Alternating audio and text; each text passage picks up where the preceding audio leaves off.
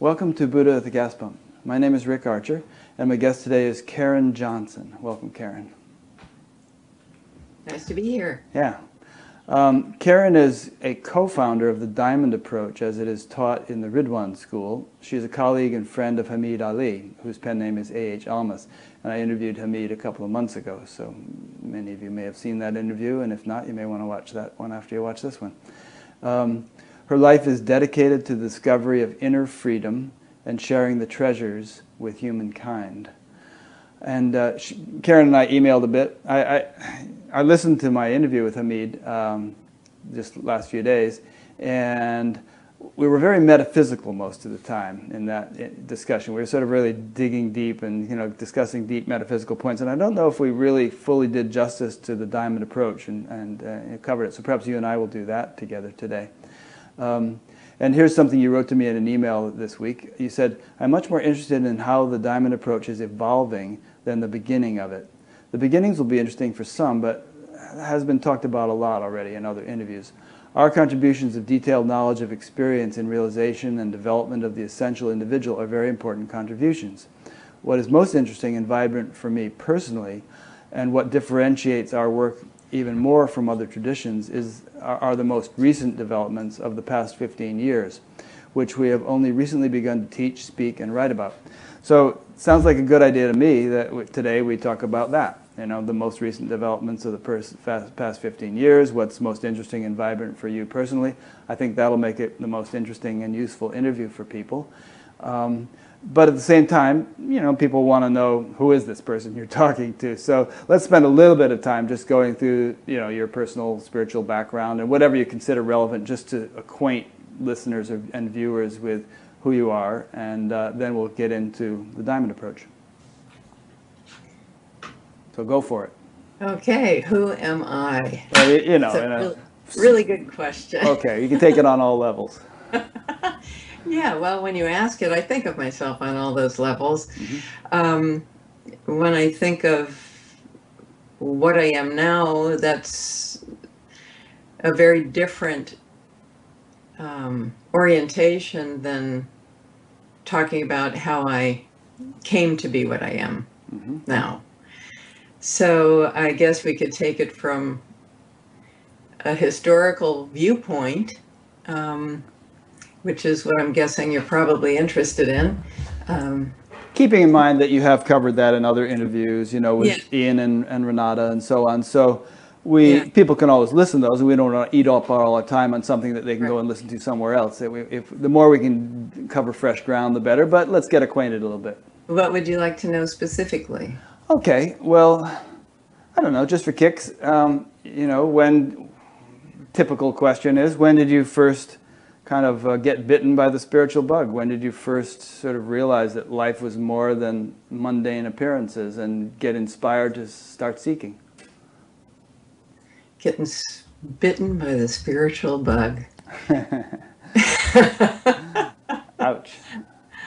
Well, I kind of see my spiritual evolution as a natural flow. I don't know that there was any one event, there were many. Um, but one of the very first things that happened to me was reading a newspaper in the living room when I was about eight years old. And I was reading um, about a girl that died in a car accident. And for some reason, I was completely struck by what she had said, and I couldn't stop thinking about it. And I was sitting there for about 20 minutes, mesmerized in the thought of uh, she hadn't been wearing her seatbelt. Mm-hmm. She got thrown from the car and she was on the ground and said, Don't worry, mommy, I know where I'm going. Mm. And finally, I looked up at my mother. We sat around and read a lot. I looked up at my mother and I said, Mom, where was she going? Why did she say that? And my mother said, I don't know. What do you think? And we had a chat about it. And my mother was a kind of an unusual individual. She had a, her own interest in spiritual things. but that's the first time I remember thinking about death and dying and what is spirit and where do we go and all of that kind of thing. And so I think that that's my first memory of um, some other place, some other world. Um, there's something more than this. And that's not unusual for children around seven or eight to start having the concept of death and wondering about it. Uh, but for me, that stimulated a process that uh, continued, uh, not just about death, but about spirit and life and what is that. And, and yeah, you had a really neat mother. It sounds like. Uh, I, so did I, by the way. But you, uh, you know, she was going to Esalen and doing all these things. She's a kind of real spiritual person. And, and when you asked her some question, she wouldn't just give you a pat answer. She would kind of bounce it back to you and, and or tell you she didn't know if, if she didn't know. And, and it really, you know, which must have elicited some even greater inquisitiveness in you. So that's congratulations on having such a great mother. yeah, mothers are very important people in our lives, and they can uh, bring out the best in us, and they can also help suppress the best in us. yeah.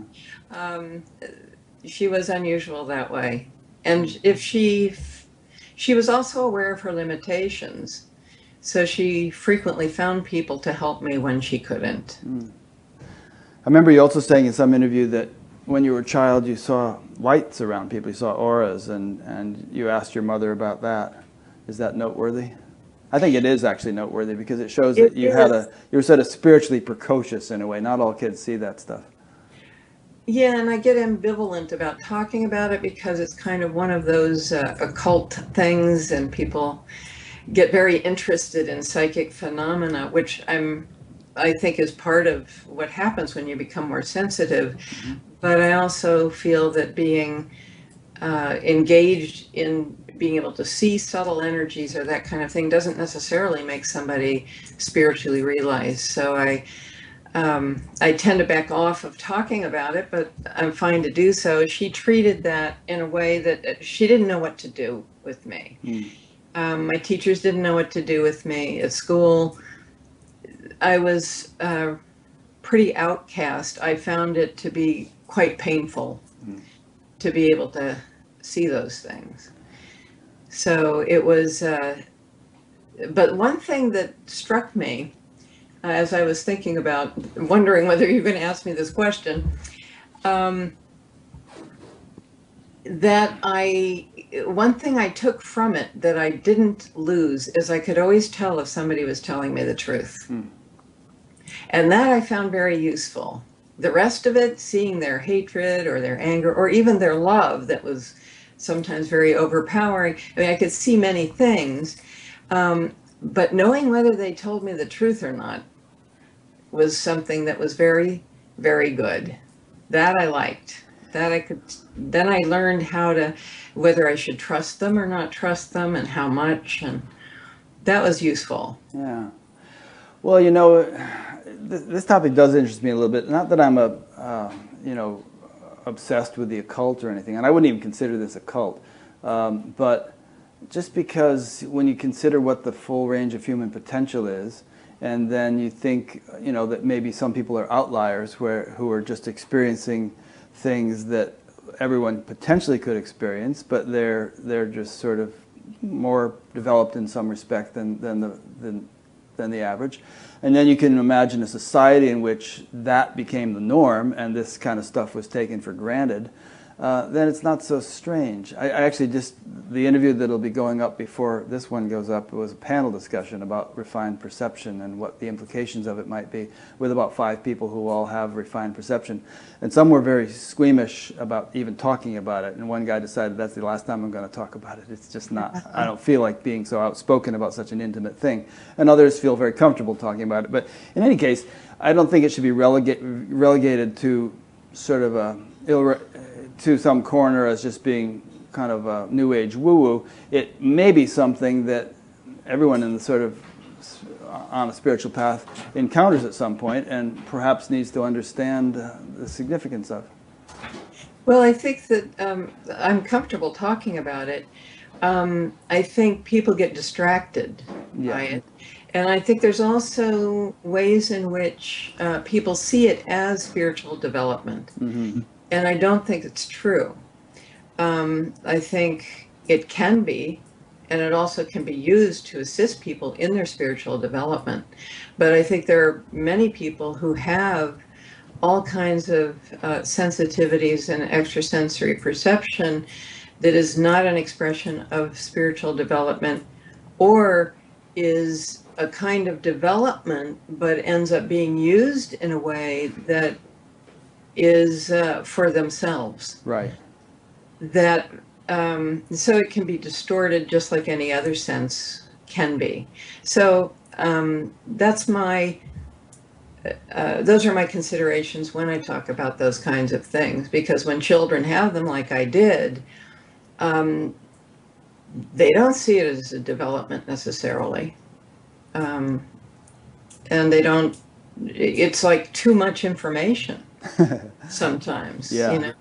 It's it's more than i needed to know about things but also it was useful in other ways. And especially as i got involved with people who knew and could help me uh, to understand it. But actually what happened was my mother took me to uh, somebody who worked with sensitives they called them at the time. It was in the 60s so there's people that dealt with things like that and they actually helped me to learn to unsee Hmm.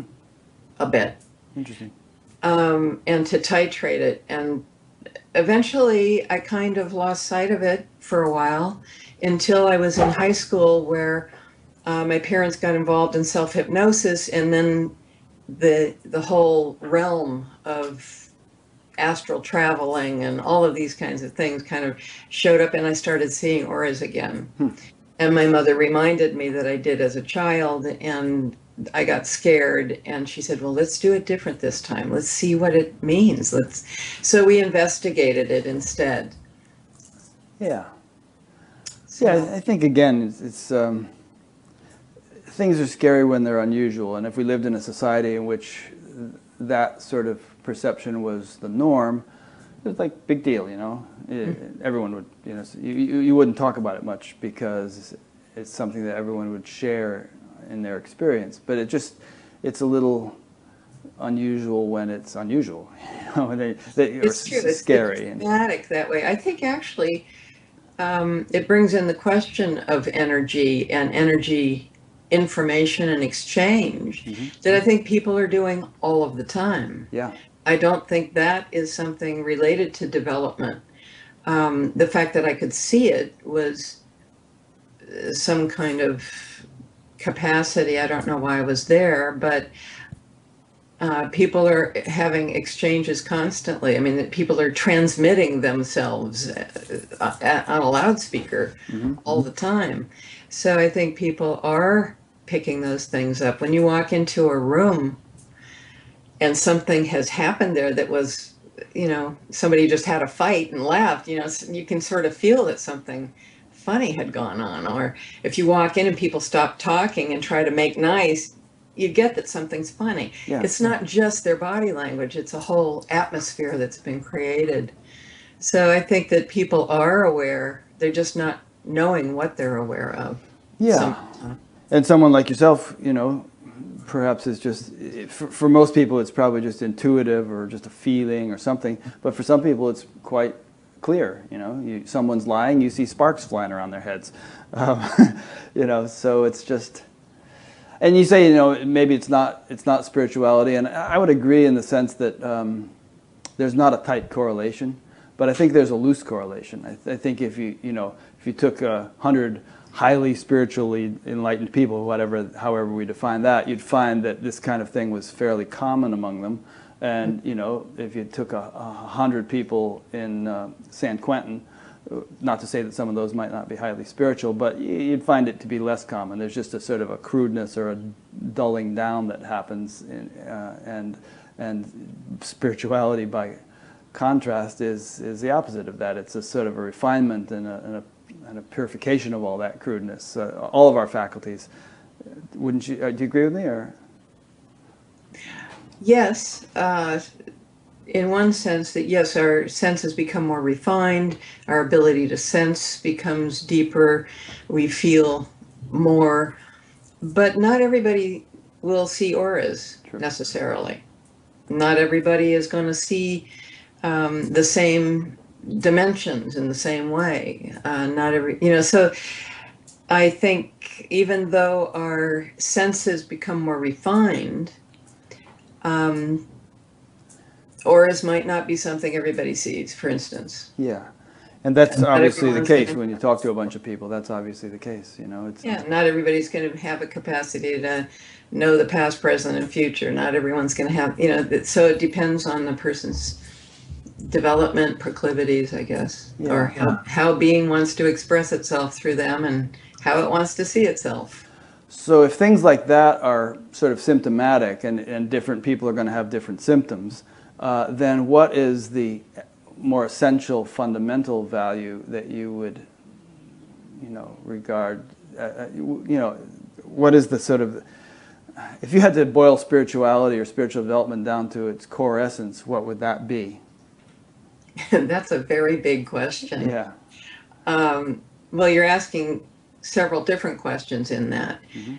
Spirituality and how that spirituality is expressed in the form of capacities, that can be many. Mhm. Spirituality, in terms of boiling it down to its essence, I would say that's uh, that can be anything. I mean, that can be it like well the question would be what's most fundamental Yeah. And some would say Do I see it- self-realization, for instance. pardon Some might say, okay, self-realization, that's the core. Yeah, yeah, yeah, and then i see yeah, that kind of thing. Um, in the Ridwan, how does the Ridwan school define it? self-realization No, the the.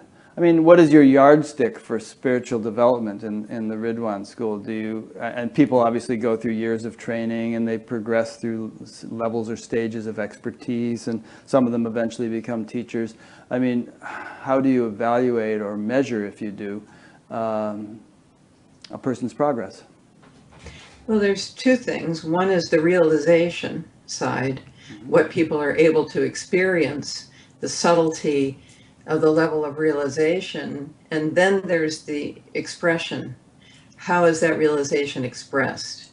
And in the Ridwan school to be a teacher it needs to be expressed in a particular way in terms of skill. Mhm. however that doesn't mean that all teachers are realized in the same way. Some people have actually a great deal of skill and capacity, knowledge, precision. They're very, very skillful in the way that they can guide people. Their realization may not be as deep as somebody else's Mhm. who has less skill. So they might be more honed, more developed, and more uh, precise in their actual ability to guide somebody when their experience may not be uh, as expansive as someone else's. So Yeah. It depends on how you look at it. Sometimes I have students whose realization is is quite deep. Uh, what I mean by deep is subtle. Um, they're able to really traverse a lot of different kinds of experiences. Those experiences come out and get expressed in their lives, but they've chosen not to be uh, to become teachers, which I have a great deal of respect for that too. Being a teacher is only one way of expressing that realization, and there are many other ways. Yeah, I mean, to use the Sanskrit term, we all have different dharmas, and everybody's dharma is not that of a teacher. Mm-hmm. Um, yes. Yeah. So, uh, okay, let's we'll we'll keep unfolding this, but let's bring it back to you a little bit more. So, you know, you went, you last left us in your teenage years when your parents were starting to get into hypnosis and stuff, and you, and you began to experience astral traveling and and auras dawned again. Um, then what? Then what? Then I went away to art school. Mhm. I did not want to go. Hmm. I wanted to stay home. I was one of those kids who wanted to stay home and not go. Hmm.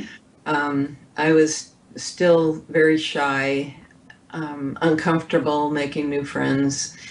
I had started coming out more in high school. I learned yoga. I was teaching yoga to my PE class. Hmm. uh, at in high school, but I was very comfortable at home, and I wanted to stay home. Yeah.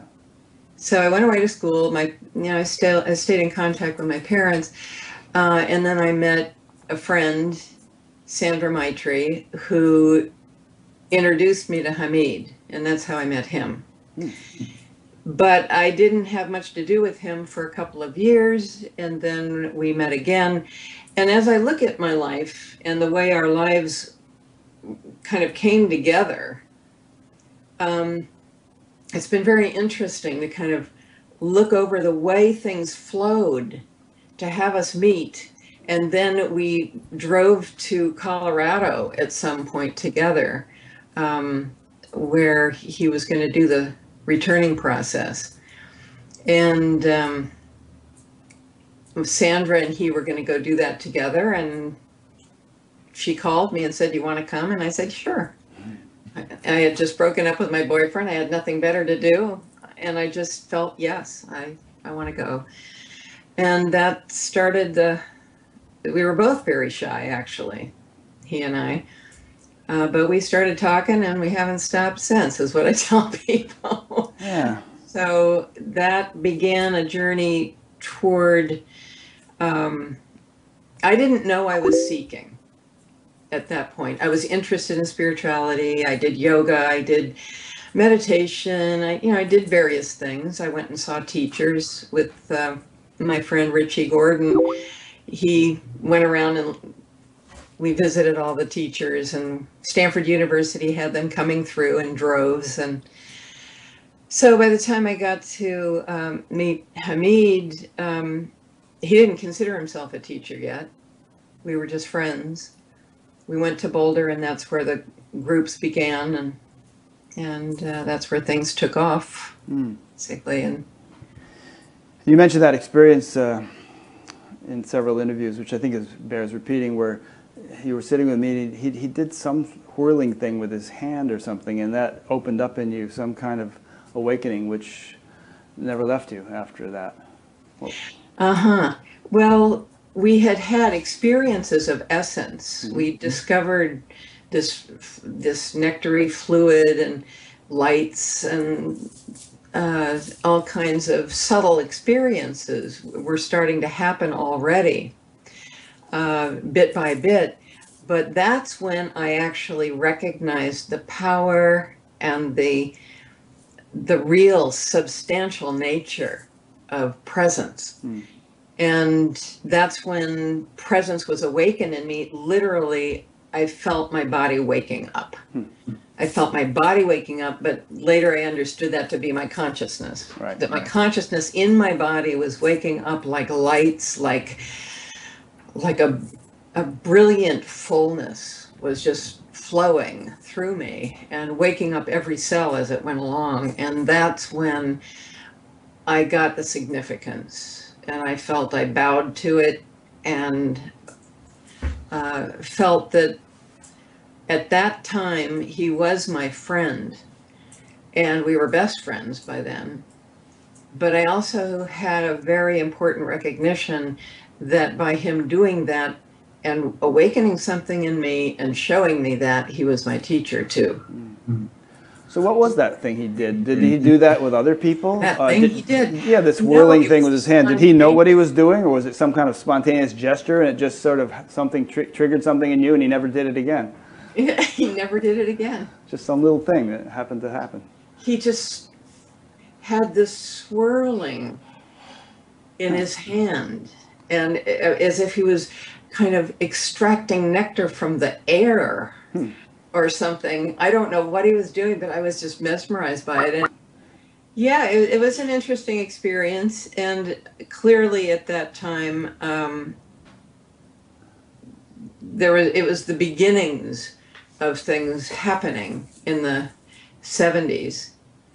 Uh, I was living in Denver, but that that thing that happened then, I don't know what dawned on him to to do that. Um, some and little he never did it again. He Yeah. never did it before, but he just poured this into me. Huh. It was really very interesting. And it's, you know, I had had spiritual experiences before. It wasn't like the spiritual uh, presence was new exactly, but something happened differently. And the way that my experience unraveled from there and unfolded. It unraveled me and unfolded itself into me is kind of how i see it. Um, really became specifically the diamond approach how things began to emerge at that point. Um, so that was uh, unique. It was a unique experience for him and for me. So, are you two uh, co your co-founders? Did did you pretty much play an equal share in, in formulating the diamond approach, or was he the pro- predominant one and you kind of like filled in the, the pieces, or what? Well, that's an interesting and complex story. There was, um, he was involved along with another friend and myself. He was the spearhead of it. The realizations tended to come through him at first, although as this um, presence was unfolding in me, I would have experiences in particular ways he wouldn't. Um, other friends would have experiences in ways he wouldn't, but he synthesized all of this in some way. It wasn't just an intellectual synthesis, it was a way in which he would have insight into how all of the things fit together. So, yes, we were in a conversation that was very mutual, it was organic, it was a, a discovery. He would be involved in an inquiry, I would engage with him he, I would have all kinds of other kinds of questions. He would engage with me. I would have experiences. But in terms of the synthesis of the teaching, he was the one who was bringing those things together. Mm. That became uh, more and more, we became more and more involved. I became more and more engaged, more, and then I moved out to California and there was much more involvement but we weren't i don't consider us having actually been equal until the 90s Hmm. and that's when i felt i uh, our engagement and involvement together actually reached um, a kind of mutual place mm-hmm. and then certain experiences began to happen and this is where i felt things got very exciting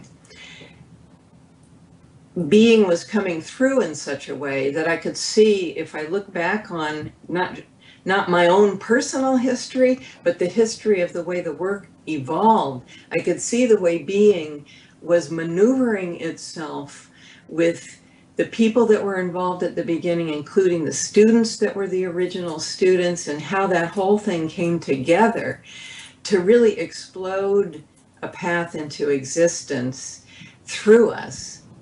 And in the 90s, things started happening where I could see how the mutuality and the equalization needed to happen to create a kind of vortex to open up secrets that couldn't be known by just one. Mhm. It needed a certain kind of synergy, a certain kind of exchange that liberated a certain kind of understanding that uh, brought about a whole perspective that is now what's being taught in the school. Yeah. And that didn't happen uh, until, I mean, the first inklings of that began around 1985. The actual opening to it started in the 90s, and then that culminated in uh, around year 2000.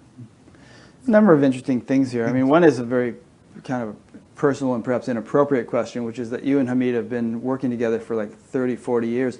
Have you, has it ever been sort of like a, you know, personal relationship, or is it always just this? He's been married all this time, and he and you, you guys are just sort of like spiritual co-creators or something. And uh, I wonder how that's how you met. And you're even these days talking about tantra and eros and all this stuff. I mean, how have you managed to balance that close working relationship with, you know, personal lives that uh, outside of your relationship? Well, that's a very good question um, because it's been a difficult balance at times. Mm-hmm. But that's why when we talk about the Tantra, um, we talk about friendships that use eros for liberation. Mm-hmm. And it, it's a kind of um, energy that, that erotic energy does not have to be sexual energy but it can be. And we have had attractions from time to time but we also recognize we're about the work. This is not about us in terms of um, individuals we're individuals that are expressing something far larger much more important than uh, just what is our personal uh, pleasure or direction. Uh, we're both married and we've been you know, always involved with other people. When we first met, we were both involved with other people.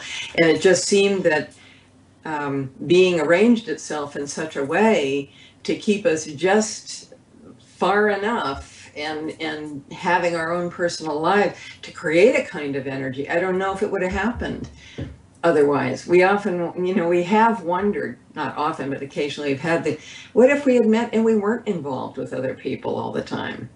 What would have happened? And we actually think that it's possible that the work wouldn't have evolved as it has. Yeah.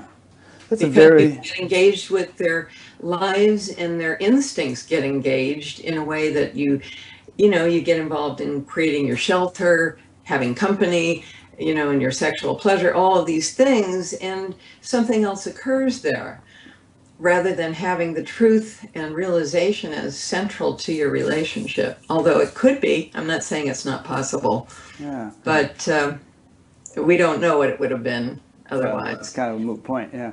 But, but it is, it has been a difficult balance uh, in terms of our relationships just because the work is central to our lives. Hmm. It is what matters. It is what we would give up everything for. It's a very interesting point. I mean, you've managed to kind of transmute or or sublimate or something the this energy that is created by your interaction, and it's provided fuel for your teaching. You know, I, am just reiterating sort of what you just said. Uh, mm-hmm. Uh, whereas, had you not done that, there wouldn't have been that fuel. The teaching might not have had its the, the potency and the vibrancy that it has ended up having. So it's kind of interesting. And, and, and related to that, you know, you've said several times, and Hameed also often said when I was talking to him, that being organized it in such a way. And that fascinates me because it sort of makes, it sort of, in a way, almost anthropomorphizes being. It, it, it, it implies that being is not just sort of flat absolute, but it's a, it's a lively intelligence which actually, in some way, orchestrates the course of events to help facilitate certain outcomes or certain unfoldments. Mm-hmm. So feel free to comment on both those points. I, I, find them both very interesting.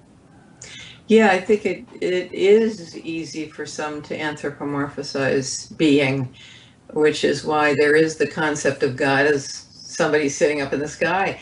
Because how can you, if you don't have the experience of a dynamic force um, an invisible, you know, kind of force behind everything at all times and all places that's happening. Um, you can't think of it any other way. If you think of yourself as an entity separate from other entities, God can't be but an entity. Yeah. It's very, well, it's very difficult to think of a force that's not an entity if you see yourself as one. Yeah, probably I shouldn't have used the word anthropomorphize because that does imply entity. But I, what I'm thinking of more in, is in terms of all pervading intelligence, which we are within that, that is within us, is just uh, inseparable. Uh, but that it actually does have a kind of an evolutionary direction, and mm. that it, it sort of, in its vast and infinite you know, intelligence, tends to move things along in a certain way and bring about certain outcomes and developments right. uh, that are not just dumb luck, you know? Right, that has its own intelligence in a way that's um, optimizing. Yeah. that optimizes the possibility, its possibilities of expression. Sure. So, like for instance, the diamond approach is a is an effective thing. It's influencing the lives of a lot of people. It wasn't a coincidence that you happened to run into Hameed and that you happened to go to Denver and that you know that you happened to be married to other people in relationships with other people. And it's like all these sort of you know, it's, it's intricate. I mean, it's unfathomable if you really try to parse it out too much. But all these sort of things, all these things were conducive to things developing as they did, and it's not just your individual intelligence which which kind of, which orchestrated it, which figured it all out. There was some larger intelligence that you were following the impulses of, or that you were in tune with, that enabled things to develop as they have. Well, followed them even though I wasn't in tune with them. Yeah. Ended up at art school. I met Sandra. I met Hameed. I met you know. Um, I didn't feel like I was in touch with anything and going, oh, I'm feeling guided here. Although, if I look back on it, I made a lot of decisions based on a gut feeling of this feels like the right thing to do, Yeah. Or this doesn't feel like the right thing to do. Yeah, who's making that decision? It can feel mm-hmm. like my decision, but is it? When I look back at it, no, I don't. I don't feel that it's that way. I, there's, there's only being deciding. Yeah. And it's, and I guess the point I'm dwelling on is that it's interesting that being does decide. You know, uh, not necessarily as a human intellect would decide, but there is there's something more meaningful to the way events unfold in the world than just uh, random randomness and, and, and so on. There's there's a kind of a guiding intelligence. Right. Uh, there's a pattern Yeah. that you can see in hindsight often that you don't see as it's happening. Right. Events are created that stimulate a certain uh, process, and it appears from within the entity's point of view that they're making a decision. Yeah. If you look at it from within a separated individual, you can't see it any other way than I am making a decision. Right. Seems if like you get a bigger view, you see how all of these energies are moving in a certain direction and something slips into place and you find yourself making a decision Yeah. or you find yourself moving in a certain direction and at some point when i make a decision now or when i you know if i if i articulate it that way i don't actually feel that i am making a decision Mm. i actually what starts happening for me is a discernment of the way things are going Beautiful.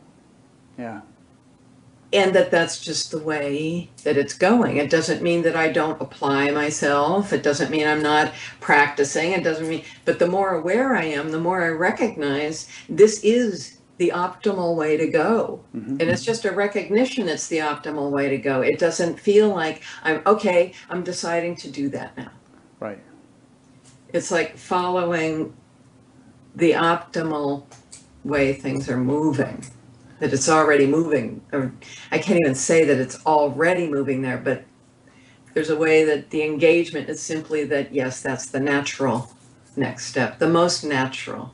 Yeah, it's very interesting. You know that co- common phrase, "go with the flow," and that might sound a little passive, and, and but there's there's this sort of subtle balance, isn't there, between going with the flow and and sort of a little bit being on your toes in terms of subtle discrimination and just uh, being alert to the impulse to, to the way the flow is going, in, in order to go with it and, and not not sort of blindly go against it.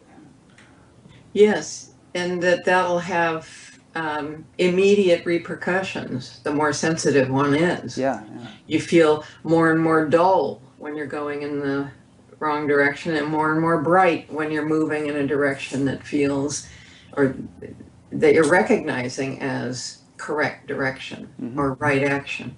It's an interesting point. Just out of curiosity, what are those beads in your hand?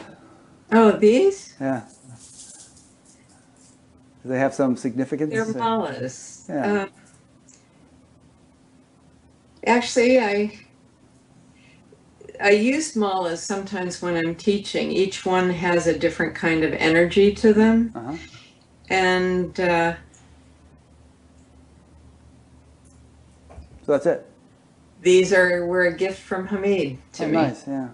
Actually, all the malas I have were gifts to me. I never thought I'd use them, but they were gifts, and uh, Okay. so I use them. No big deal. Yeah, just curious. I mean, Yeah. I've seen other teachers do that too. You know, they hold Rudraksha beads or pearls or something while they're while they're teaching, and it just has Yeah. some energy, I guess. yeah, it, they do. Yeah. It's been, I use them at different times, but for the same kind of purpose, Right. so that they get the same kind of energy. So, um, so let's focus in on what we said when I read your in the in the introduction. You were saying what's most interesting and vibrant for me personally, and what differentiates our work even more from other traditions, are the most recent developments of the past 15 years, which we have only recently begun to teach, speak, and write about. So let's spend a good hour talking about what you're implying there. Okay. Well, like I was saying before about the things that started to open up um, for Hameed and I in the 90s were um, a departure from the journey, what we call the journey of ascent and descent of the diamond approach, which is the when we learned about the aspects of our nature that are applicable in daily life, where people can actually feel the the kindness of of uh, being, the the strength, the love, the intelligence, the joy. All of these things are things people can actually relate to, and those are the first things that tend to open up on the journey. And then we get involved in dealing with who we are in terms of who we are in the world as a person and our realization. And that goes through various um, dimensions. We call the non dual dimensions, um, or the boundless dimensions, is what we call them in the school, to the um, uh, absolute. And then we um, then there's a whole process of what we call the journey of descent, which is the integration of all of the dimensions and aspects into the absolute and seeing everything from there through that. Then another, So let me just in, interrupt for a second. So the Yeah. people who are studying in the school actually experientially go through the phases you just described. Yes. You're not just taking them through it philosophically, but their their experience clearly or to, to whatever degree of clarity actually progresses through those phases. yes, Okay. we, that's how, that's the curriculum Yeah. in school. And how does that happen? How what do they do or practice or whatever to bring that about? We have practices, we, teachings. When someone joins a group, they get involved in a, a group that takes people through the various levels and dimensions. hmm And that we do exercises, teachings, um, meditations, and so on. So are there little subgroups within the Ridwan school where if you're at this stage you belong you, you participate in this group because they're focusing on that and then later and then maybe you graduate from that and you get into this little subgroup? It's usually you start a group and you go through the curriculum with that group. Hmm. And then sometimes groups are merged when they get smaller, if they're dealing with the same things, or if somebody comes in uh, at a time when the group is still open, they pick things up from another group if they need them. Um, but generally, you join one group and you go through the whole curriculum with that group, which establishes its own group field Yeah. too, which is kind of a, a a nice and an interesting thing because you move through things with people um, and get to know them in ways that you might not if you were just going to a class, for instance. It's a whole kind of sub sangha. That Mhm. there's the whole school, and then there's the groups within the school that are moving through the curriculum uh, different different ways. Do you have a problem sometimes where within a group some people are really precocious and they've they've got it. They were already gone through this, that, and the other stage of experience, and the other people are still. Some other people are scratching their heads, thinking, you know, I'm not experiencing anything. I don't. Maybe I don't belong in this group. Uh huh. You have Yeah. that. What do you do? How how do you do? What do you do to sort of bring everybody along more closely together? Well, we can't assume that everyone's going to develop the same way. Right. We can't assume that everyone's going to have the same realization. So we, um, you know, people gravitate toward one another and they find fr- friendships and like realization. But also, another beautiful thing happens, which is that um, what I've seen occur in some of my groups is that the people who are more developed become very generous in their perspective and actually become um, very attuned to the fact that the people who aren't as developed may have certain gifts that they themselves don't have. Mm. And this I see as uh, a wonderful kind of development that I've noticed in some of the more um, attentive students and the ones that actually are um, I don't know, they gain great a great deal of my respect when I see that happening. It's very touching. So it's not always a problem. Um, there's some people who feel they need to be in a group only with very advanced people, and I'll find out why. Because the teachings are definitely things that relate to everybody, Mm. and they can relate to anybody on any level. And that's also one of the ways the teachings have developed. The way that Hameed and I are teaching in the school now um, include a kind of continuum through the dimensions so that actually somebody could listen to a teaching and be hearing it from where they are and having it apply. They always do, but we're making that more explicit. And that relates very much to the wider view that we now have.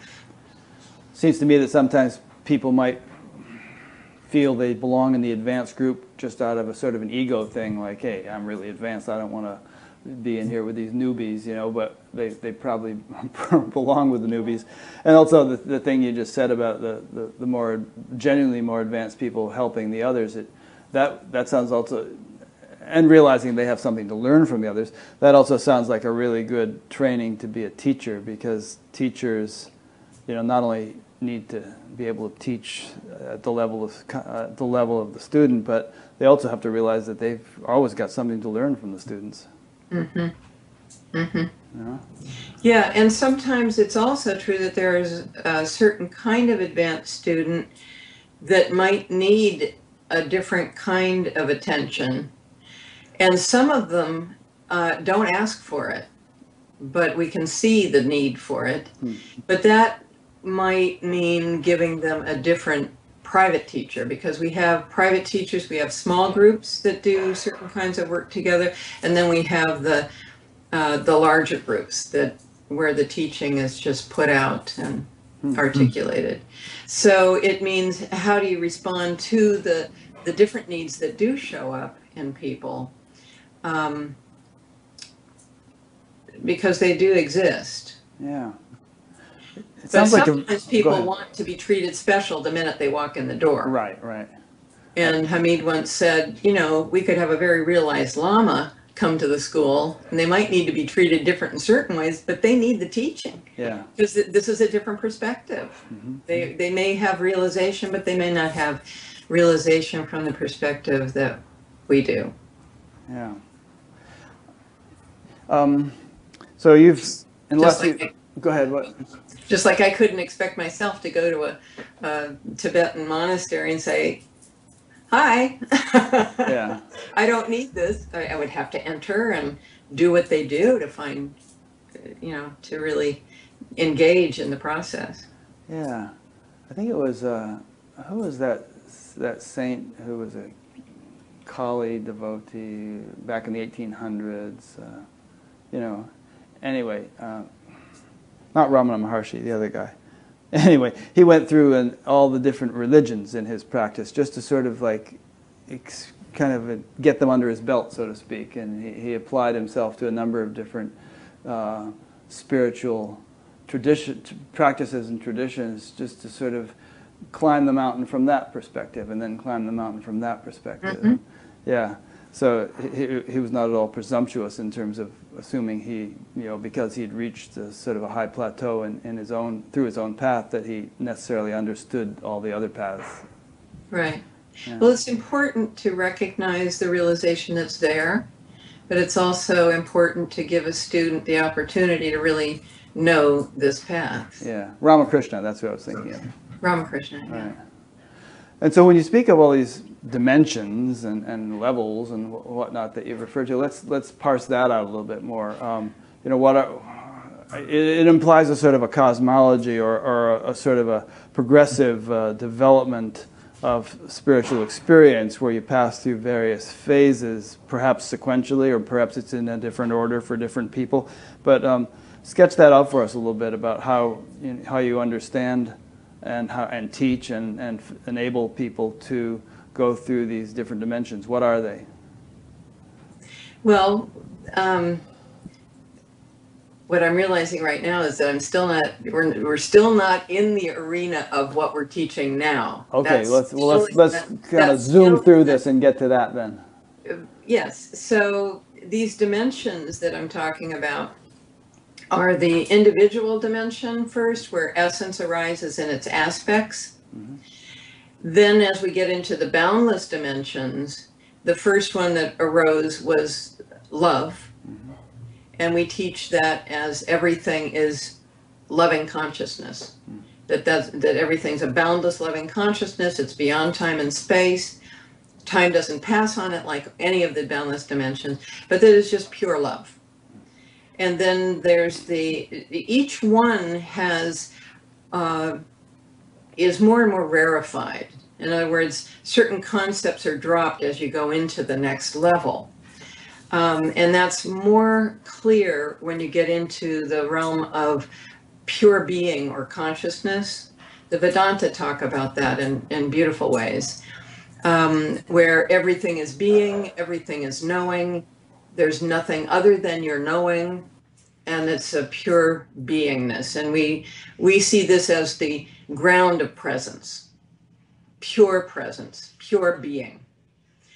And then there's the dimension um, that in the diamond approach, uh, the next one that that shows itself, expresses itself, is if you get into being enough, deeply enough, and have no idea about being or what's under it or within it, what arises for us is the non conceptual, which many people use non conceptual also in being because it's beyond personal mind. What we mean by non conceptual is that it's um, just pure awareness so it's the dimension of just pure awareness without recognition or knowing. There's just pure awareness, and everything is pure awareness. Then um, within that arises uh, the absolute, which is the ground of being and non being. It's the emptiness of our nature, but it also is the the presence and emptiness as one. So there's the being and non-being, and the re- resolution of all paradox. So it's the ground, the mystery, the unmanifest. What we began to realize, and this actually dovetails very nicely with the uh, later developments, what we ge- began to realize after having certain experiences of the absolute and going into the pure emptiness, we began to recognize that that pure emptiness and absence of existence began to show itself in such a way that we began to experience what we call the gray night of the soul. Not the dark night, uh, but the gray night, where everything was absolutely neutral. And we went through a period of time of not caring, not even feeling spiritual, not interested in spiritual things.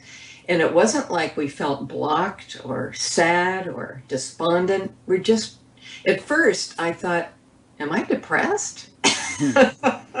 no. I just felt so neutral.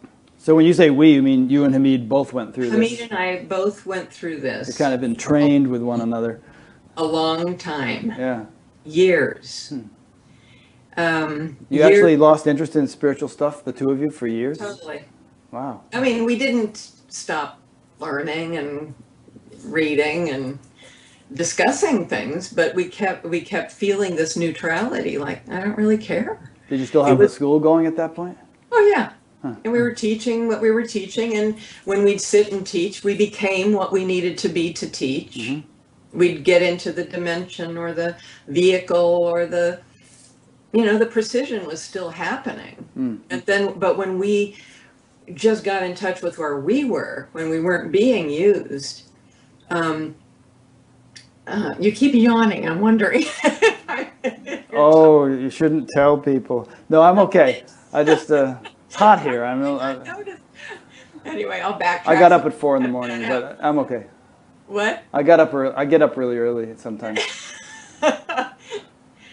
So what we realized was that there was just this neutrality when we got back to what our station was, meaning when we're just kind of uh, at our place where we're not being influenced by the needs of anybody else or the needs of uh, the teaching. When we're just exploring where we are, we were just neutral. Huh.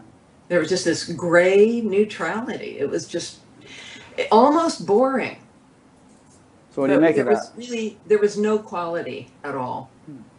none you couldn't say there was clarity there you couldn't say there was awareness i mean there was awareness we were being aware but there wasn't that pristine clear wonderful feeling so that happened for a long time and that's when we began to realize that what we saw as the absolute the manifest and unmanifest the emptiness we began to see that as an actual explicit expression of mystery that it was more manifest than what we were experiencing. So even though it we saw it for years in the school as the unmanifest the ground you you don't go beyond this this new experience began to happen. Hmm. And that's what opened up the whole realm of what we call the freedom vehicle that brought in the wisdom of freedom, which now we teach as there isn't an ultimate place. That all, so from outside of the entire path, we wondered are we leaving the diamond approach? Maybe. If that's the truth, that's the truth. So we had to go, they say uh, in many traditions that you have to go beyond your own tradition at some point.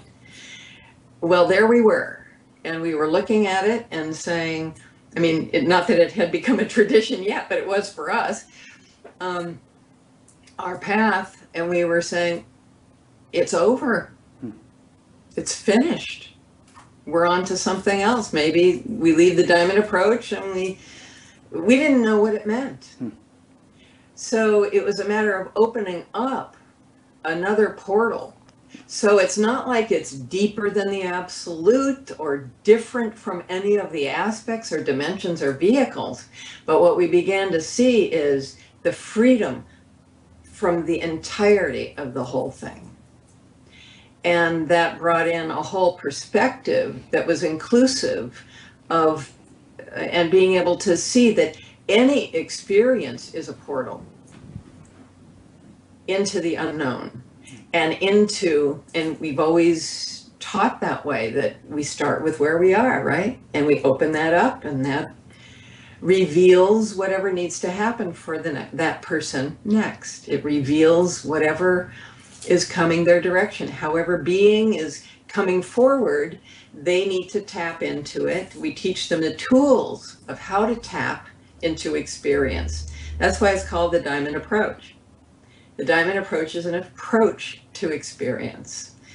And that approach is with clarity, with love and sensitivity and presence and sensation, be able to sense what's going on.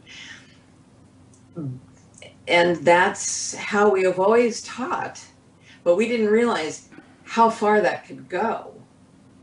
and even go beyond um, the path in the linear progressive sense. And what I see from this perspective is that that linear progression is necessary for the development of the consciousness, the individual consciousness, in such a way that it can become so refined that there's no need to perch anywhere, that you can be absolutely nothing. Really nothing.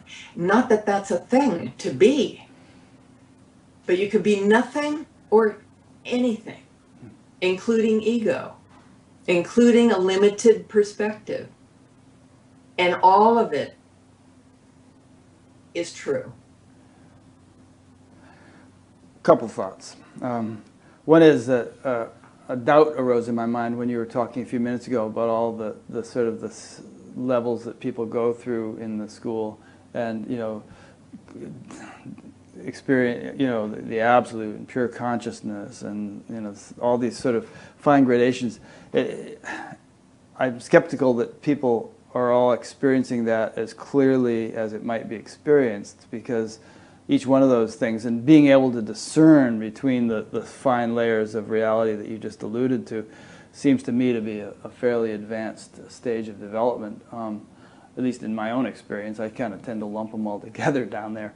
Um, that's one thing. Uh, go ahead and respond to that one before I do the next one. Many people have those experiences how integrated they are, how much they understand the implications of them. Mm-hmm. Yeah. I think there it doesn't mean that they are realized in those conditions. Um, many people in our school have those very, very precise experiences. So, but they can be like flavors or glimpses, which could still take years to fully right. embody or, or integrate. Sure. Yeah. Okay. And some people do integrate them and do embody them. Okay. And um, about this gray night of the soul, was was that contagious, or was it just you and Hameed? I mean, did it start? Did your students start experiencing the same thing? Uh, not for some time. Mm-hmm. It only was when Hameed and I began to see what it meant that people began to experience it. And most people came to it as boredom mm-hmm. um, feeling disquieted, feeling done with the work, feeling. Some people actually left when I knew that what they were heading toward was that. Some people don't want to feel nothing, they want to feel spiritual. It really makes you have to confront your ideas about spirituality because from this place, everything is spiritual and not spiritual. Yeah. yeah. Everything's ordinary. I mean, are, is what you're referring to really just a matter of uh, an integration and maturity? Because, I mean, at a certain point, the wow factor has to pretty much disappear. Uh, if you really integrate this stuff, it, it has to be as mm-hmm. kind of normal as breathing, and you don't you don't keep making a big fuss about it all the time. There's a sort of right. a ordinariness to, to something which, in in reality, if you were to pop into it abruptly and suddenly, would seem quite extraordinary. But it's mm-hmm. really quite ordinary if it's well enough integrated. Mm-hmm. Is that a fair assessment of what you're talking about? It could be. Okay.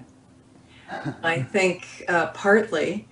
Um, however, we've never really heard anybody talk about it this way. I mean, there's uh, I'm talking about it somewhat simplistically, but um, because it opened up to an entire way of looking at things, even looking at our own path that was uh, very difficult to comprehend. It took many, many, many years of um, insight and development to really comprehend the meaning. So the normality is part of it, and I think you're right. Anybody who um, who I have met, who I bow to as realized or feel, you know, that kind of respect for, they they act pretty normal, and they're with kindness. I mean, normal in one way, but also you can tell that there's great openness, kindness, love, um, acceptance. You know, the qualities come through in ways that are discernible, but they're acting like a normal human being. They're not putting themselves up on a pedestal. They're not uh, acting in any way that demands uh, something from you to them. Um, So when you, when you say that with reference to this whole gray night of the soul, are you implying that prior to the dawning of the gray night of the soul, there had been some subtle tendency for you and Hameed to feel a little bit aloof or special, and that this was a, a kind of a coming down to earth for you? Uh, no, no, I was responding to the way you were talking about people who are realized and they're acting pretty normal. Yeah. Um, that's what I was responding to. Uh, no, I think our humility hit long before. We were bludgeoned by it, anyways. Um, I think for me, I uh, my own narcissism was challenged over time uh, and chipped away at throughout those boundless dimensions. Um, but I think this whole neutrality did bring it up again as I have absolutely no significance.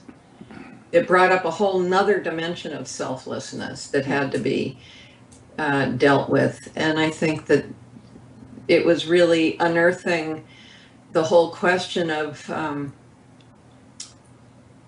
really what it meant to be nobody and what kind of things that brings up from history when you're treated in a way that you're invisible and ta da ta da, you know, so on and so Mhm. forth until you start feeling it as a virtue. And in in the sense that being invisible and accepting it means you're just not going to be seen. Yeah. And that's okay. And not to expect it. Brings up an interesting point, which is I think there are a lot of facets or aspects to spiritual and personal development which you're never done with, but which you kind of keep revisiting over and over and over again at subtler and subtler levels as you go along. hmm Yes. Yeah, and it keeps being un- unearthed. And I also think that even when people, I mean, in, in my experience, uh, I can be feeling very open and and very real and just normal and going about my business and feeling very very open something will happen that's a situation i've never encountered before that can bring me, me up as an individual again and bring out a piece of history I hadn't seen, or all kinds of things can happen because I haven't encountered that situation. Mm. And it's also open to that. It's like, oh, I didn't know that was still there for me. Yeah.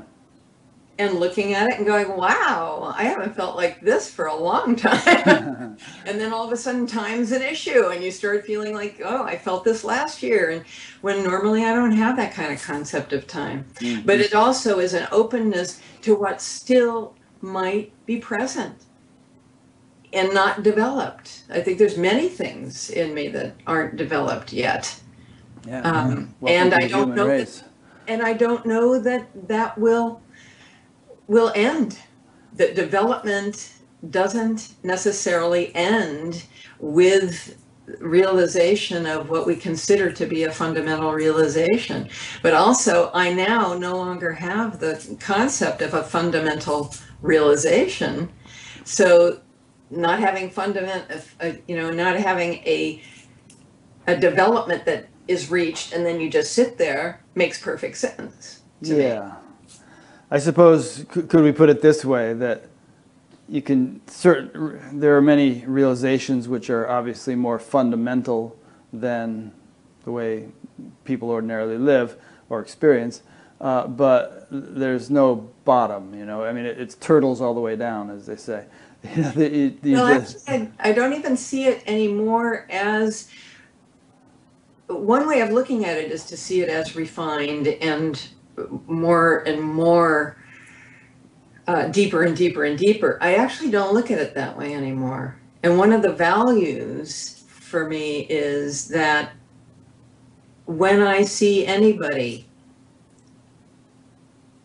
I no longer look at them as whether they're realized or not.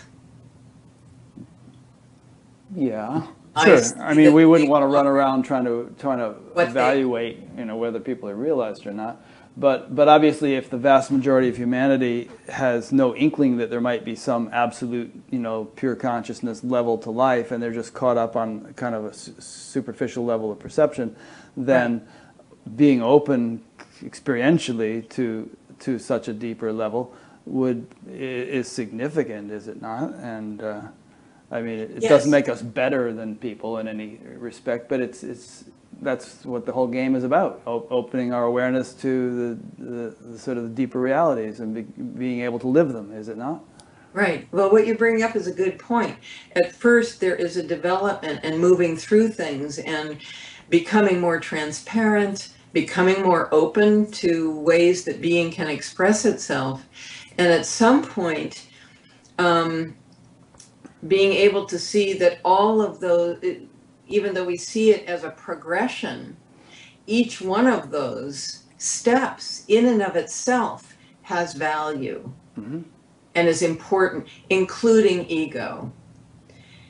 Not that, and, and that's where things can get a little bit dicey because if you say, well, everything has value, including ego, from the ego's perspective, it says, oh, good, then I don't have to do anything. Yeah.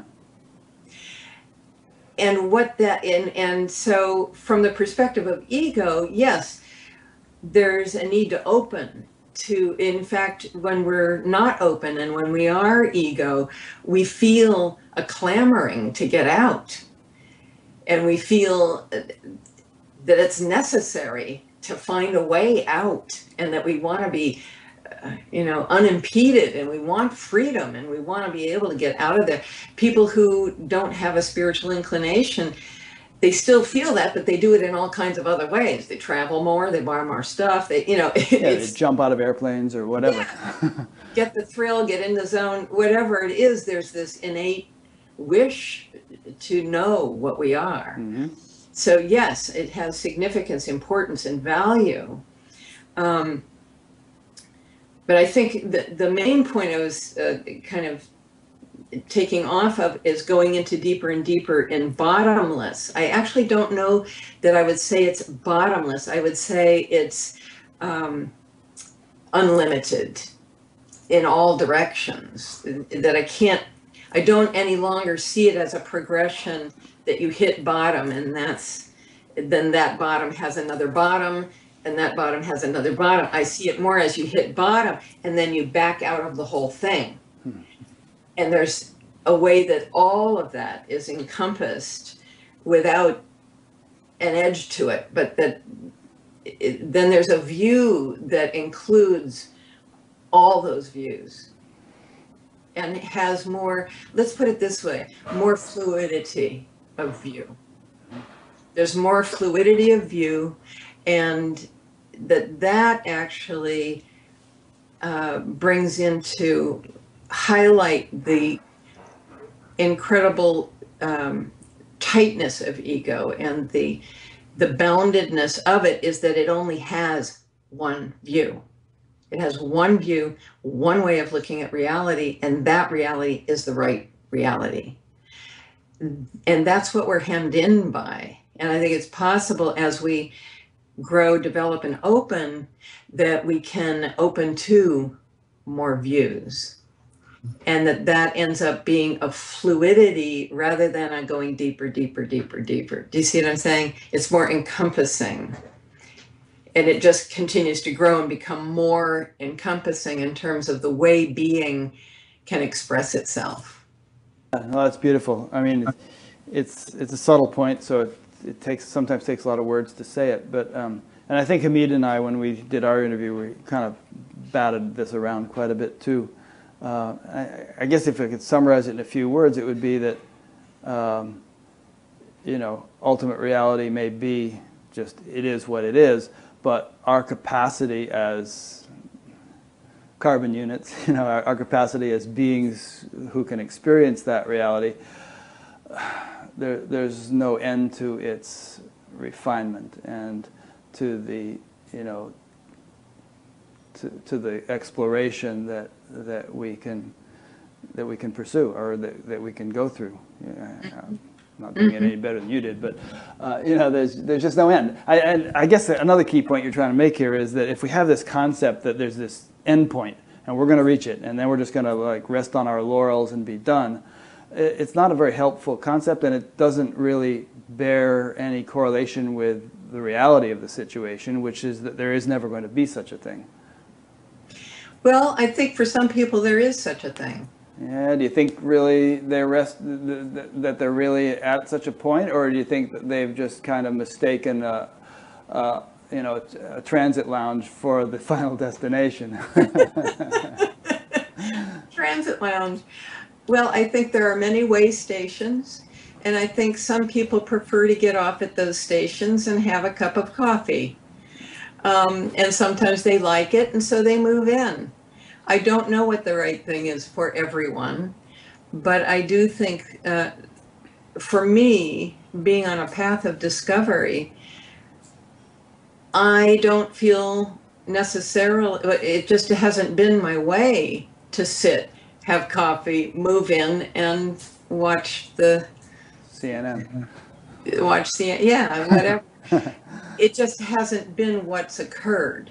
Yeah. For me. So, and, and I actually have to say that having an endpoint is a helpful concept for some people. Hmm. In fact, in our work, the first years are bringing out the aspects, working through the issues, and being able to have a certain realization.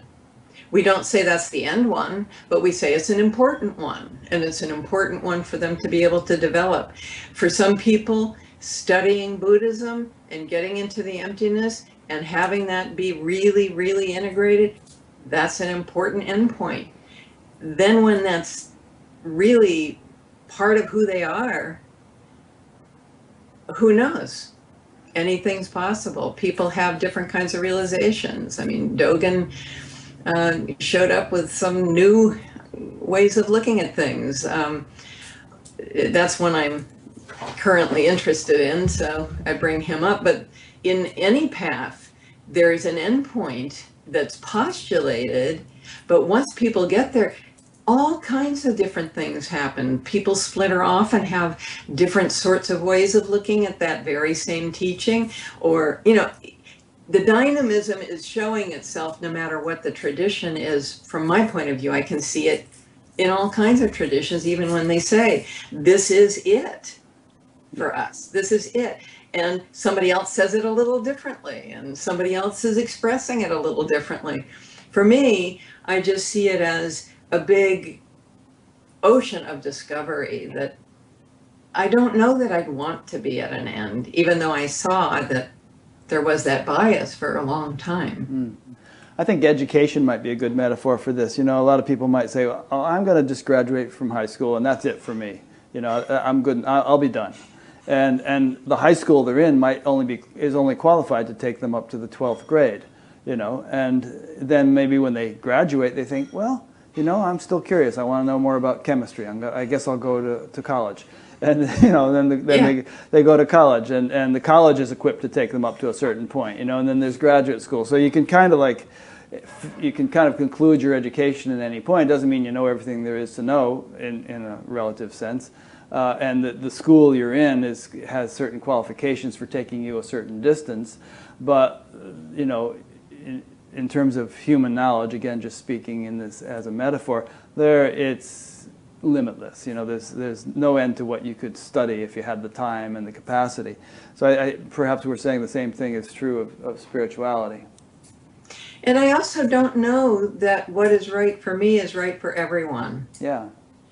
Um, I think there's been students that leave the school after they realize what it really means to be a pure, real human being on an individual level. They recognize what we call the pearl beyond price, which is what it means to be a, a true being of being. And that's enough. They want to go live their life, express themselves, have babies, get married, uh, or do something better with the babies they've got. You know, who knows what what's really what what way being is showing up that says, I want to go have this experience. I don't, you know, I, I want to do this, I want to do that. So I think there's many, many possibilities for people. Yeah, And I don't know what's right for everyone. sure. But I think to have the view that many things are possible that haven't been imagined before, Yeah, even in spirituality, even amongst the traditions that exist, is one that I think is rarely talked about and uh, needs to be.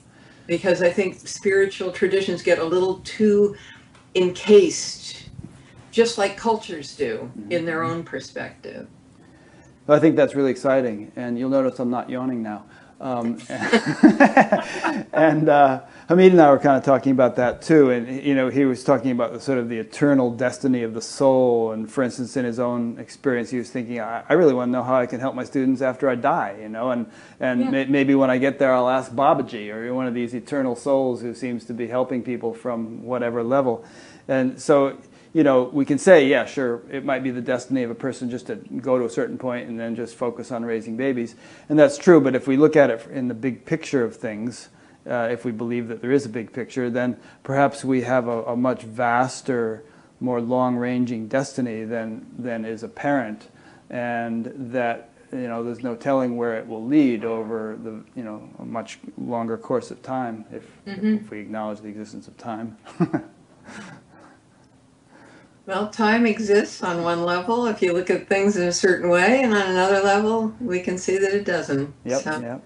Both perspectives have value. It's difficult to live in the world and and not uh, see that s- clocks exist. yeah, that is if you want to ever catch a plane on time or anything. That's right. Um, so let's zoom back into uh, you know what our introductory point, you, what you've been doing the past 15 years, what's most vibrant for you personally. I want to make sure we're doing justice to it. We may be getting off on tangents and not really getting to the meat of it or bringing in all the facets you'd like to talk about.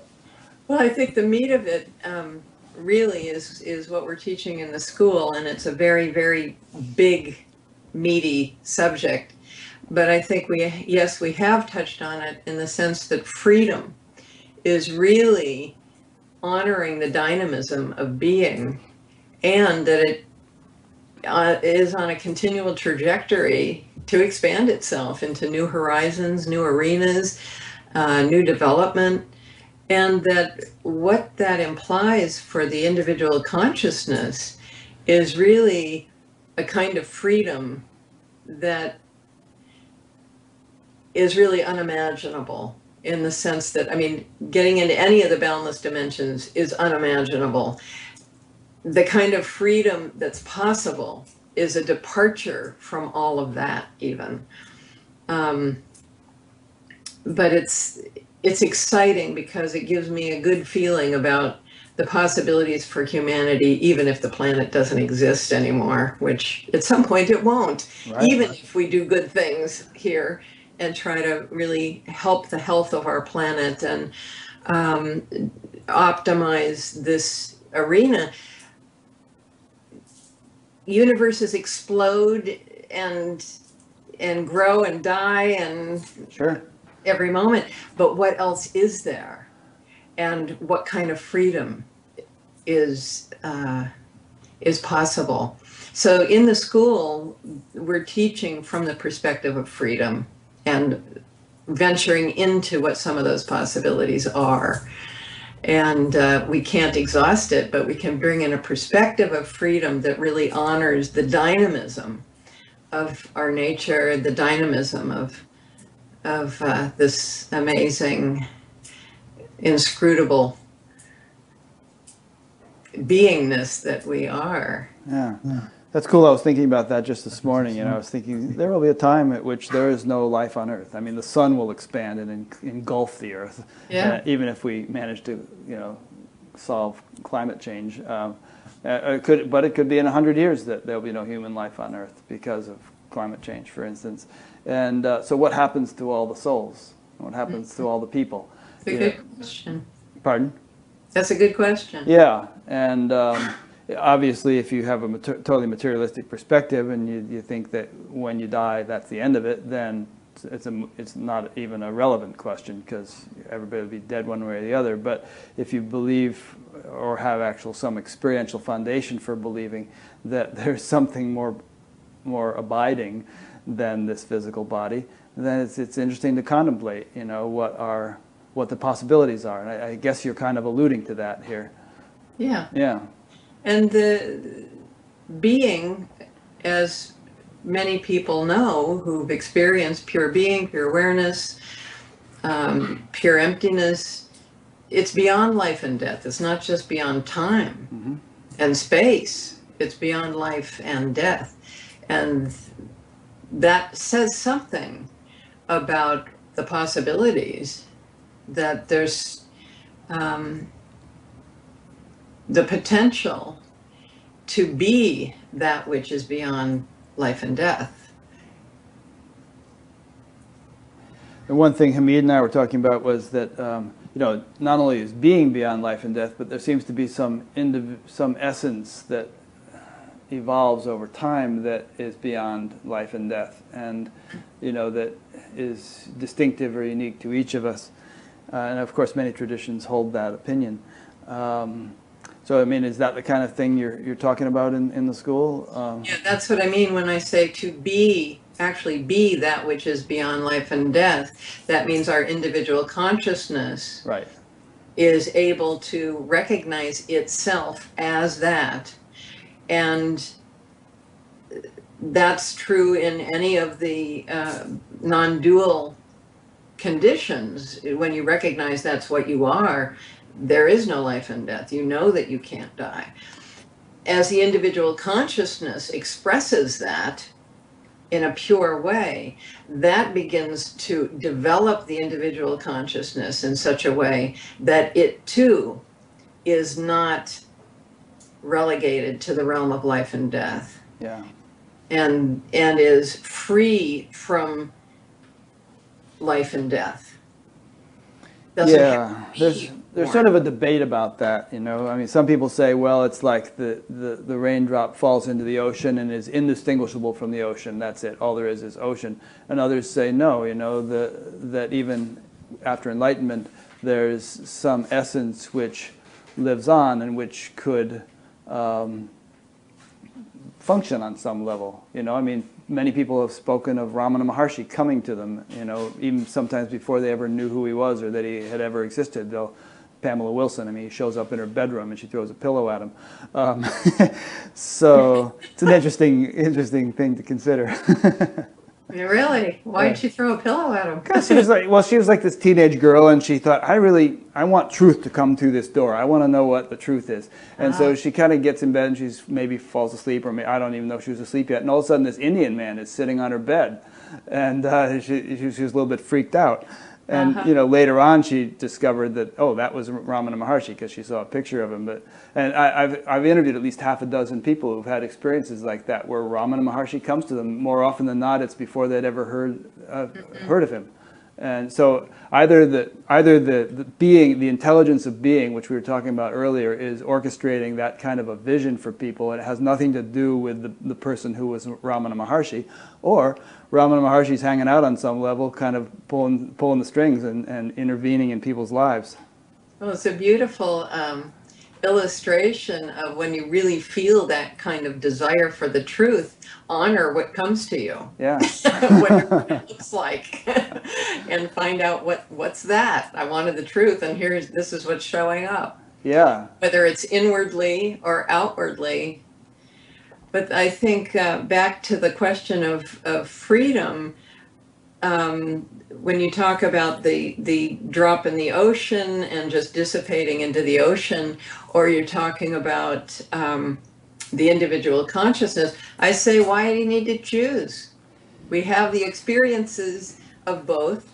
When we we feel we can uh, completely uh, melt or dissolve into the ocean of being and feel that we are everywhere at all times all places that's true. And it's still one's individual experience. Not everybody's having that experience. So there's something that is the experiencer. If you can know an experience if you can articulate that experience somebody's having it and that doesn't necessarily mean it's a self. It's it's a it's like we're all conduits. If we look at it from the outside in every individual is a conduit into that vastness mm-hmm. from the vastness it has a conduit into the world or into experience and so there's a way in which there's a very symbiotic relationship between the individual consciousness and the ocean of consciousness, if you want to call it that, or whatever you want to call true nature or uh, the ultimate, whatever it is.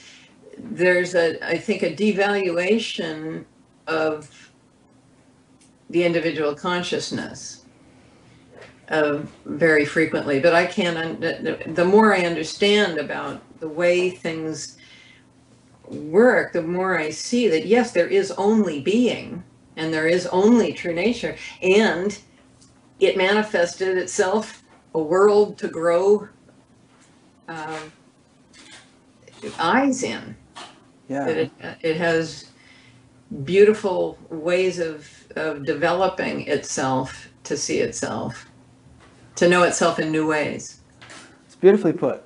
I, I really like what you're saying, and I, it's something that I, I, think about a lot, but I, don't think I've ever been able to articulate it as well as that. But you know, I love what you just said that from the individual's perspective, we are like con- conduits into the vastness. From the from the perspective of the vastness, you know, the individuals are sort of conduits into the world, into the relative, and it, it's this kind of like uh, infinite, infinitely dynamic uh, cycle of both things. Mm-hmm. Mm-hmm. It's really cool. And uh, so, is this just something that personally fascinates you, uh, or is this actually kind of uh, really germane to what you're you've been te- is, teaching in the diamond thing? This is the diamond thing. The diamond thing. Absolutely, the diamond thing. Um, no, this is definitely germane to it. It's not. Um, it's not the meat of the matter, but that's really what's coming through in the school, and Hameed's writing about it. There's a new book coming out that's going to be bringing in that perspective more. Mm. Um, but this honing of the individual consciousness by being, by true nature, um, there is something of a beautiful kind of organism of we started out as really honoring and loving the knowledge and the the wisdom that was coming through and all of that, but to actually be the the um, this body that can develop through this honing process, I think is what um, what's coming through in the school now as the freedom vehicle and what it means to to actually embody the path and the journey uh, and then take that when we go. But we don't know the end result because we're still in these bodies and we don't, we haven't made that transition. And that's going to be remain, you know, that remains to be seen what that really means and is our intuition about it correct? Um, we're already having experiences of other realms and places and that kind of thing. But we don't know what the full truth is about that. That will wait. Meanwhile, we're just having a good, solid, full life. Interesting. Yeah, I mean, of course, there are traditions in which the body as vehicle for exploration is very much understood and, and which incorporate various means of refining that instrument. Um, Physiological means, you know, yoga, Ayurveda, uh, various herbs, um, all kinds of things that there are all kinds of practices tantra and various is supposed to be able to do that in various ways. And there are even stories of people refining this instrument this physical vehicle to to the point where it becomes like a, a celestial body. There's, there was a story of these three three sages Bhrigu Rigwa and Waj who wanted to ascend to heaven in their physical bodies and I suppose there are corollaries to this in other traditions but they they refined and refined and refined to the point where their bodies began to be bodies of light, you know, mm. and and then the celestial realms began to get nervous because these these they, these guys were kind of encroaching on their territory. so there's a whole story about it, but but anyway, it's it's an interesting glimpse of possibilities.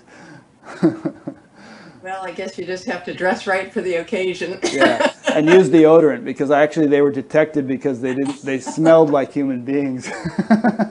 Still. That's great. So what are some other things? I mean, let me. Let, we still have a little time left if you do. Uh, maybe you don't. I mean, you're getting short on time there. I have a little bit of time. Okay. Um, what else can we bring out that would be of value to people and exciting for you? Well, I, I am excited talking about this inclusive perspective. It, I find it very accepting, open to. It's also valuing uh, each tradition's perspective in a way that we can continue to learn. I mean, Hameed's always been extremely well read and interested in in many many traditions. I am somewhat you know I've, I've studied them but mainly i learn a lot by talking with him about what he knows. Yeah. um, and all the way through the journey um, he's always been impacted by other other traditions um, and i in turn have been impacted by how he's been impacted. But it's it's also gone through him in a way where he's like a filtering mechanism. It's very interesting where it comes in and we experience things in a certain way, but then it becomes part of our perspective and it's got a slightly different um, wisdom to it. It's not exactly the same. Uh, so we've learned from other traditions all along the way.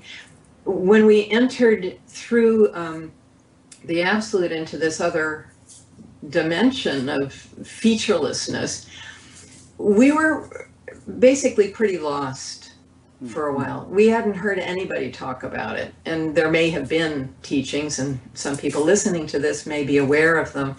But we um, were floundering for quite some time because very often we would be looking at our experience uh, and say, oh, the Buddhists have a certain point of view about this. And yes, this fits or this doesn't for us.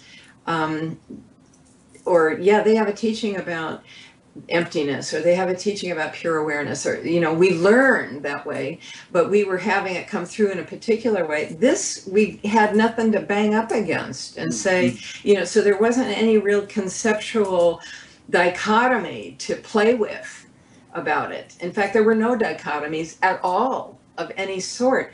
So it was what we call radical non-conceptuality where there wasn't even the conception uh, or the concept of awareness or even emptiness. It didn't feel empty, didn't feel not empty. So it was much more radical for us, and you know, other people may have come into this. Uh, What are you alluding to now? You're, the Gray Night thing? I'm talking so- about this gray night of the yeah, soul yeah, okay, good. that led us to this whole new perspective. Yeah. Um, but this new perspective from the freedom vehicle is really the kind of freedom that has a wisdom of all perspectives without being attached to any of them, mm-hmm. without having to perch on any one in particular. However, being able to take a perspective when needed. Yeah. It's like in life, when you're walking around, you don't need a perspective. That's freedom. I don't have a perspective. I'm just going to the grocery store. And then somebody asks you a question about something, and you get a perspective and you talk about it. Oh, I'm doing well today. And you, whatever you do, and then they're gone and you're gone. It's like traceless. You feel like you're not leaving a wake behind you. And everything just kind of sweeps itself away. You do what you do, and then you're done. It sounds very Zen in that way, but um, and and it, it is perhaps, and it may be that there's an element of this in many traditions. We discovered it by really not having anyone to. The whole path was discovered by not having really anybody say what this is and what that is. Yeah. Um, but this was even more radical. There's an analogy in the sort of Vedic tradition about um, people with varying degrees of uh, rigidity or impressionability. And you know, they say some people are like, you know, you, you make a mark on stone and it, it really sort of uh, leaves an etch that could last for a thousand years. Other people are more like sand. Other people are more like water. Other people are more like air. You know, you can pass your arm through air you're much more easily than through stone. But when you've done so, the impression just is gone. You know, you don't leave a trace, as you said. What about fire? Uh, I don't know. I wouldn't want to try that.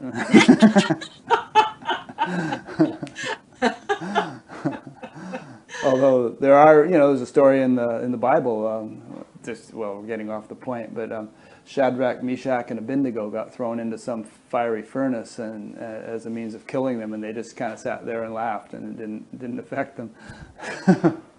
I love fire. Fire's yeah. friend. I like water too. It gets mm-hmm. a little steamy. yeah. When you mix the two together, especially. Yeah. But um, anyway, what you just said, I can really relate to doing this interview show. It's like Hameed asked me about this too. He said, "Doesn't it kind of isn't it a bit much interviewing a different person every week and, and kind of like having to take in a whole new perspective?" And I thought about it. I said, "Well, there was a time when it would have been, and it probably would have been confusing, but now I just feel like it's enriching and um, kind of um, expands, keeps expanding more and more facets or something." And um, it's like you know, each, and I don't think any perspective has some kind of final word or totality or, you know, each has its validity. It's all, you know, different petals of, a, of one very large, beautiful flower. And it's, it's really an honor to be able to kind of um, enter into somebody's world each week and, and get familiar with their perspective. And hopefully, I, do, I mean, I'm sure that I'm still funneling things into my own perspective to some extent. I don't just, I'm not a total perfect chameleon, but um, I don't know. It's very, it's a very enriching process, and I, I kind of, it kind of sounds like you're doing something similar in a way, just having this openness to all perspectives and let, letting anything be uh, a fertilizer for deeper understanding. Well, at the same time, the diamond approach has a very specific perspective. Yeah. It's just a matter of that's what's coming. It's not like we're planning it, but it's showing its perspective more completely. And I think that the Freedom Vehicle is really central to our perspective. That's what we're learning, is that's where it's been coming from all along. Mm. Is that uh, we do have a perspective. It's a very specific perspective, but it's open to all other perspectives, and that we all have something to learn from one another it's just like people. I think one of the biggest problems in the world is that everybody holds on to their perspective so much they can't hear, see, or feel anybody else. Mm-hmm. Nor do, do people want to. And even when people want to, they still want to find what's the common thing that we can work around and make that central rather than that's just a nice place to come from to let those differences have some kind of cross pollination, like a value in the difference and a value of the importance of the differences. Everybody really wants to be the same in some way, and I don't understand that. Yeah. Why does it have to be the same? Why not explore the the differences and the uh, it's like no i see it this way well i see it this way and oh well, that's interesting. How yeah. do you look at that? And why do you look at it that way? And what does it mean? And what are the implications? And that opens up a whole new, it's like every petal becomes a full flower on its own. Mm-hmm. That's really interesting. I mean, look at nature. Um, there's such an incredible abundance of variety and differences. Mm-hmm. And yet, on some fundamental level, everything is harmonized. There's a, there's a, kind of an underlying harmonizing all intelligence that is governing this whole, you know, phantasmagoria of different plants and animals and birds and fish and you know the whole thing. It's uh, and so why couldn't human beings also incorporate that principle? And you know the the, the differences could be even more vivid, more diverse, uh, more vibrant, and yet some underlying harmony could enable all those differences to coexist without conflict. Yeah. Well, the, the beauty is in the discernment of the differences. Mm, And that's a very loving thing. yeah. I mean, we see beauty in the in the discriminations. Nice. Any other gems for us? Uh, anything we're leaving out that is, you know, something you really that we shouldn't be missing? That you'll th- you'll think half an hour later, why didn't we talk about that? Anything like that? Well, that's the beauty of things is that uh, in in hearing you talking about being, you know, listening to different people all the time, we're always impacted in a way that hopefully we think about things later on and things come up and oh wow. Yeah. And that just is part of the conversation. The the conversation continues after the words are through. It does. And that's what's beautiful. And I do want to say that you are a perfect chameleon in the sense that your being is manifesting in a very unique and lovely way that I feel privileged to be speaking with. Well, thanks. I'm honored. Um, So- Really sweet. and I'll see you in a couple months, actually, or maybe five, out at the SAND conference. I'll be going out there. I, I, Ah. I saw you and Hameed are on the roster. Yes. Great. Yeah, we'll be there. Yeah. Alrighty. Well, uh, I guess let's wrap it up then. I mean, there's Okay. always more to talk about. We'll have other opportunities. Um, We will. yeah. Well, let me make a few concluding remarks. Um, I've been speaking with Karen Johnson, who again is co-founder of the Diamond Approach, as it is taught in the Ridwan School. She and Hameed Ali or A.H. Almaas teach together, and um, I will be linking to her websites from her page on batgap.com. Each interview has its own page. Um, and if you happen to be listening to this on YouTube or somebody sent you the audio of it or something, uh, go to batgap.com and you'll find an archive of all the interviews that I've done so far, um, about 230 something. And there's a place to sign up to be notified each time a new one is done. Uh, you just get an email once a week. Um, there is a little discussion group that crops up around each interview. Sometimes it gets pretty lively, sometimes not. But if anything in this interview inspires you to participate in a conversation, go there. You'll see a link to it on Karen's page. Uh, there's a link to an audio podcast uh, on each uh, interview's page, so you can go and subscribe on iTunes and uh, listen to the interviews on your whatever podcast reader you use. Um, there's a donate button, which I appreciate and rely upon people clicking from time to time if they have the means. Um, there are some other things. If you pull down the various menus, there's a chronological index of interviews, a topical index that, and, and all it's a work in progress, can always be improved. So thanks for listening or watching. Thanks again, Karen. And uh, Thank you. yeah, it's been great. And we'll see you all next week. Okay. Good. Goodbye. Bye, Karen. Thanks.